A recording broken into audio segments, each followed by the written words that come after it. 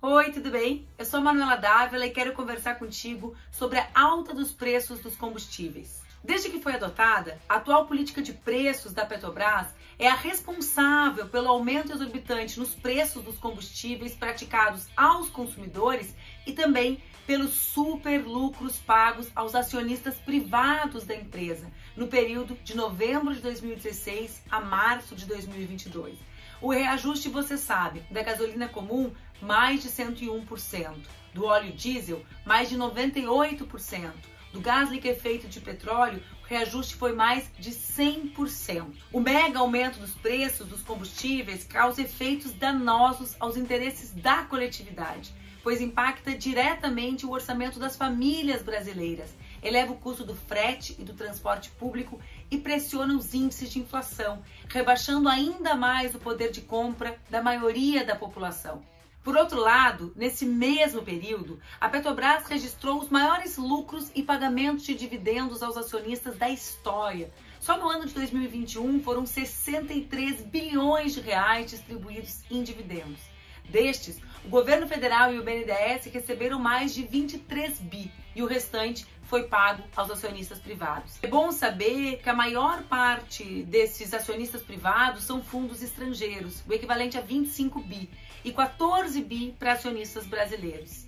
É bom lembrar que o pagamento de dividendos no Brasil é isento de imposto. Segundo o levantamento do professor do Instituto de Economia da Universidade Federal do Rio de Janeiro, Eduardo Costa Pinto, em 2021, a Petrobras teve um desempenho financeiro muito superior às demais petroleiras internacionais. Enquanto o retorno sobre o patrimônio líquido médio das petroleiras foi de 5,4%, o da Petrobras alcançou 36%, mais de sete vezes superior às demais empresas. Ocorre que esse aumento expressivo na geração de caixa e distribuição de lucros da empresa não guarda proporção com a ampliação do volume de venda de combustíveis.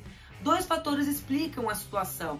Primeiro, a adoção da paridade de preços de importação, ou seja, mesmo o Brasil sendo autossuficiente na produção de petróleo e mais de 80% do combustível que abastece o mercado interno sendo produzido aqui, o consumidor brasileiro paga o preço negociado no mercado internacional e não o custo da produção local. E a segunda razão é a redução dos custos de extração do petróleo, dado que os campos de pré-sal, a ampla maioria explorados pela Petrobras, estão hoje entre os mais produtivos do mundo. Ao contrário do que dizem uma parte dos economistas que são interessados em proteger os super lucros dos donos do dinheiro, o petróleo não é uma simples commodity e o preço do barril no mercado internacional não é determinado pelos seus custos de produção. Uma das principais variáveis na definição da formação do preço do barril do petróleo no mercado internacional é eminentemente política, como pode ser constatado agora na recente alta da cotação provocada pelos conflitos militares na Ucrânia e pelas sanções comerciais impostas à Rússia, maior exportadora de petróleo do mundo. No Brasil, de acordo com a nossa Constituição, no artigo 20, inciso 9, os recursos minerais, inclusive o petróleo, são bens da União e devem ser utilizados em benefício da coletividade. Além disso, a Lei 9.847, de outubro de 99, define expressamente que o abastecimento nacional de combustíveis é considerado um serviço de utilidade pública. A Petrobras foi constituída como uma empresa integrada verticalmente atuou durante a maior parte da sua existência do poço ao posto, permitindo abastecer o mercado interno com preços mais baixos do que os praticados no mercado internacional. Ainda assim, não perdeu sua capacidade de geração de caixa para fazer frente aos seus compromissos. Pioneira na exploração de petróleo em águas marinhas, foi a partir das suas pesquisas e utilizando sua própria tecnologia que a empresa encontrou e perfurou o primeiro poço de petróleo em águas rasas no Brasil em 68, até chegar ao descobrimento das jazidas do pré-sal, a maior descoberta de novas reservas do mundo nos últimos 30 anos, em 2007, a mais de 7 mil metros de profundidade em águas ultraprofundas. De acordo com dados divulgados pela empresa de pesquisa energética, no ano de 2019, o Brasil importou apenas 10,8% da demanda das refinarias brasileiras. Essa importação é necessária para ajustar o mix de petróleo para a produção de óleos básicos e lubrificantes e também dos combustíveis. Ou seja, Quase 90% do petróleo consumido no Brasil naquele ano foi produzido e refinado aqui no país.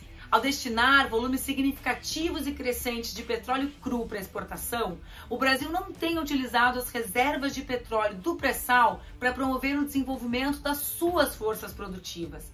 Ao exportar o petróleo cru e praticar no mercado interno a PPI para fixação dos preços, a Petrobras viabilizou o forte aumento das importações de derivados, construindo um modelo avesso ao interesse do país.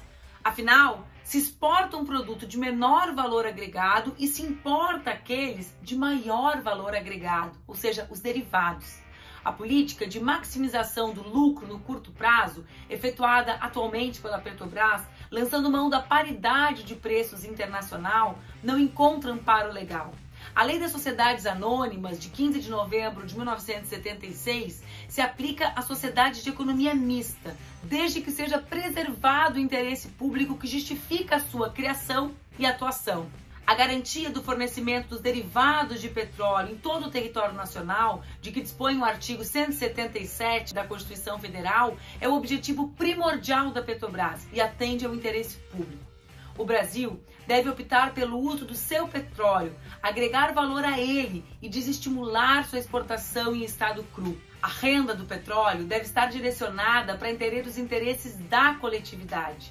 É preciso agregar valor ao petróleo com refino, à indústria petroquímica e o desenvolvimento de tecnologias e infraestrutura das energias renováveis. O uso do petróleo de forma planejada e em benefício público tem um efeito multiplicador de vantagens ao mercado interno, tanto na geração de novas receitas fiscais, quanto na oferta de empregos de qualidade e boa remuneração. O acesso à energia barata e de qualidade é um fator determinante no aumento da produtividade do trabalho, na valorização do mercado interno e na promoção efetiva do interesse público. Quais são as medidas emergenciais para enfrentar o atual choque de preços? A primeira, estabelecer uma contribuição temporária sobre renda petrolífera, como meio para financiar programas focais e emergenciais de subsídios. A segunda, criar um programa de subsídio do gás de cozinha para famílias de baixa renda, financiado pela taxação temporária dos superlucros da renda petrolífera. Subsidiar as tarifas de transporte público e frete de alimentos também a partir das receitas obtidas com a taxação sobre a renda petrolífera. A quarta proposta é o fim do PPI, preço de paridade de importação, e aprovação do PLN 3943 de 2021, de autoria do deputado do PCdoB, Daniel Almeida. A proposta adota um imposto sobre exportação de petróleo, cujo objetivo central é financiar um fundo de estabilização dos preços dos derivados do petróleo no mercado interno. A composição do preço levaria em conta os custos domésticos de produção e a manutenção de uma taxa de rentabilidade adequada às empresas atuantes no setor. O povo brasileiro não aguenta mais o valor dos combustíveis. Essas são algumas propostas para nós enfrentarmos a alta de preços do combustível, do diesel, do gás de cozinha. É possível fazer.